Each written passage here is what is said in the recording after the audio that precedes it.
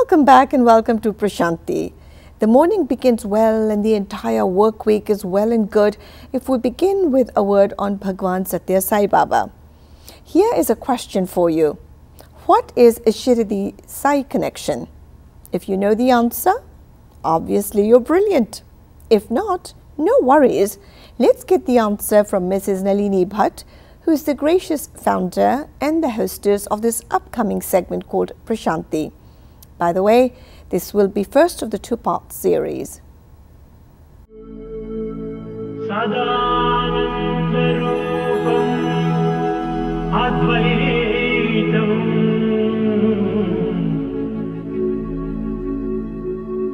सत्यं शिवं सुन्दरम् We at Prashanti offer our humblest pranams at the most sacred lotus feet of Bhagavan Sri Satya Sai Baba. Welcome brothers and sisters, this is Nalini. Previously on Prashanti, we brought you the incident of Satya playing the role of the famous dancer Rishyendra Mani, where he dressed himself as the dancer and performed the most amazing task of picking up a needle with his eyelids from the floor while balancing lighted diyas kept on top of a bottle on his head. In today's Prashanti, we will bring you Satya's connections with Shirdi Sai Baba while he was still at school. After the dance performance, Satya's fame spread like wildfire in and around Bukkapatnam. He was invited to repeat the act at other places too. Wherever he staged the show, he was heaped with silver cups and gold medals. In the beginning, Satya's mother and siblings were thrilled with the tributes of praise and the awards, but soon they started fearing the evil eyes of people. Unfortunately, their fears seemed to come true when suddenly Satya developed a high fever and a frightful eye affliction. His eyes became swollen, bloodshot and uh, tears flowed profusely from them. The evil eyes had done their work. While he was thus afflicted, one night his mother woke up suddenly when she heard heavy footsteps. She felt that somebody entered the house wearing wooden sandals and went straight to Satya's bed. But she could not see anyone. Puzzled, she immediately ran to Satya and instinctively placed her hand on his forehead to check his temperature. Wonder of wonders, gone was Satya's burning fever. The mother brought out a lamp and looked into Satya's eyes. Miracle of miracles, the eye, affliction had subsided too.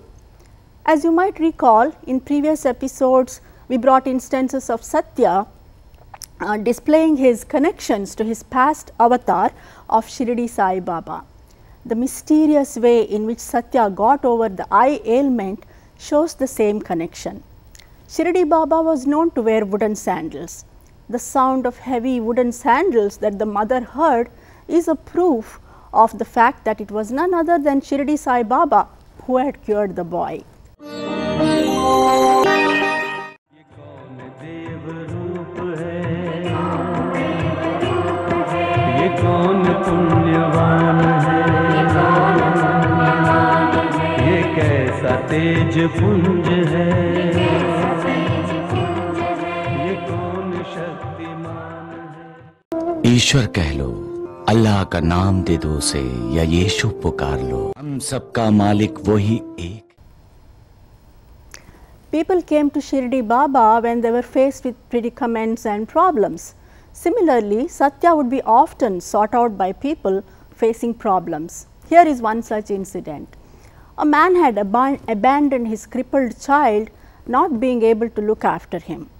After some time, he regretted his act and searched frantically to find his child. Finally, having heard of the wonder boy Satya's divine powers, the man approached Satya. You will hear about the whereabouts of your son in three days, Satya assured him, and he would return in eight days. True to Satya's prediction, in three days the man received the news from a local government officer that his son was found uh, and eight days later he was brought home. These incidents happened when Satya was barely 12 to 13 years old. Satya had been preparing to reveal his avatarhood to the world soon. who could suppress the fragrance of a jasmine in bloom? Thank you for watching Prashanti. Jai Sai Ram. Sai हमारा हम साई के ऐसा प्रेम हमारा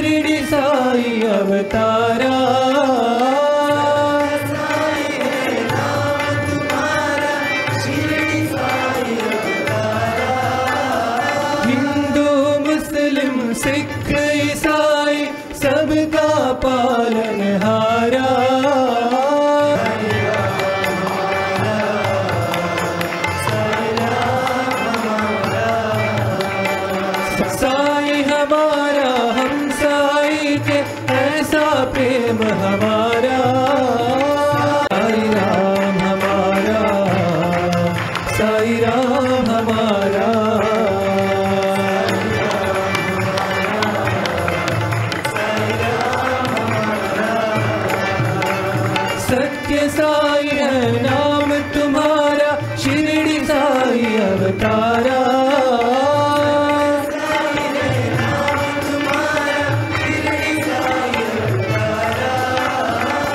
Ram, Hamara, Sai Ram.